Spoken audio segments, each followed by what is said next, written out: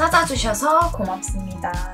똥을 오래 참으면 안 되는 이유 8가지 어떤 이유들이 있는지 영상을 통해 꼭 확인해보세요. 채널 고정!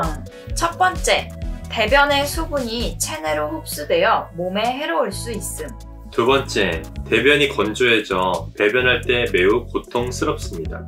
세 번째, 건조함을 넘어 딱딱해지면 변비가 생깁니다. 네 번째, 온종일 속이 더부룩하고 메스꺼움을 느낍니다. 다섯 번째, 항문 내 외부에 있는 혈관이 부어 치질이 생길 수 있습니다. 여섯 번째, 대변에서 생성된 가스가 체내 염증을 일으킬 수 있습니다.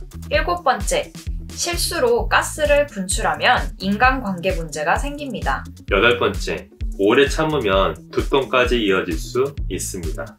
저도 변비 때문에 고통을 받은 적이 많은데 정말 공감이 돼요.